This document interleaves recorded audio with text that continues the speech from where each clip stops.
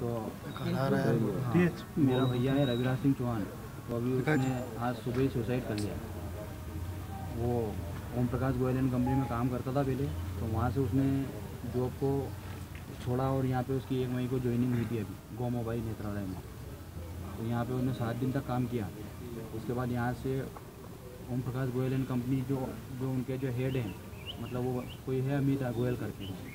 उन्होंने यहाँ पे फ़ोन लगाया होगा यहाँ ट्रस्टी में इनके कोई रिलेटिव होंगे गोयल के। उन्होंने उनको फ़ोन लगाया बोले कि आप वहाँ जाके पहले उनका काम करके आओ वो हमारे रिलेटिव हैं इस प्रकार से उसको बोला गया और दबाव बनाया गया कि ये वहाँ पर जाके काम करें। और उसका ये मानना था कि मैं अपना मान सम्मान बेच के वहाँ पर काम करने नहीं जाऊँगा। और बहुत ज़्यादा इस पर दबाव बनाया गया है वहाँ पर। इस कारण से ये सब घटना हुई। अगर गोमाबाई से इनको रिलीव भी किया गया था हाँ। कब किया गया था रिलीव और क्या लिखवा कर रिलीव किया गया? अब उन्होंने रीजन तो नहीं दिया उसमें जनरली के मतलब अर्जेंट वर्क इस प्रकार से लिखवा करके रिलीव करा है। पंद्रह दिन के लिए इनको रिलीव लीव पर रखा गया था।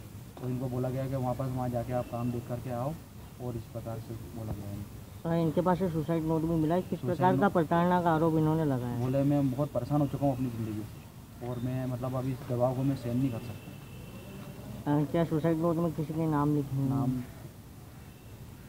नाम तो नहीं है पर हाँ इस प्रकार से कि वो जहाँ पुरानी जगह काम कर रहा है ओम प्रकाश जैन गोयल कंपनी उनके कोई अमित भैया है उनका नाम बताया बोले उसने कि बोले उनका उनका फ़ोन आया है उनका फ़ोन आया था गोमाबाई वाले जो ट्रस्ट गोयल हैं उनके पास फ़ोन आया था और उन्होंने इस प्रकार से बोला है कि आप इसको मतलब उनके आपस में कुछ बातचीत हुई होगी तो उस प्रकार से उन्होंने बोला है कि आप इसको रिलीव करो यहाँ पर तो फिर हम ये हमारे यहाँ ही काम करें मतलब दबाव बनाया गया कि यहीं पर काम करे और उसका मन नहीं था वहाँ काम करने कितने बजे की घटना और दोषी किसको मानते हैं? अब दोषी तो जिस प्रकार से कन, जो कन्वर्सेशन हुआ है उस हिसाब से तो ये ओम प्रकाश गोयल एंड कंपनी को ही इसका दबाव बनाने का क्षेत्र माना जाएगा। आपका नाम बता दीजिए मेरा युवराज सिंह चौहान। आप क्या लगते हैं मेरे मैं उनका बड़ा भाई हूँ। ठीक।